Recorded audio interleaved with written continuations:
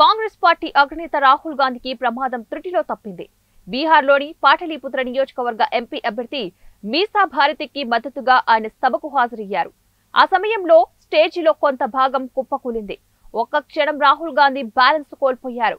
వెంటనే తేరుకుని పడిపోకుండా నిలబడ్డారు. అనంతరం సభకు హాజరైన ప్రజలను ఉద్దేశించి రాహుల్ గాంధీ ప్రసంగించారు. ఈ వీడియో నెట్టింత వైరల్ అవుతోంది.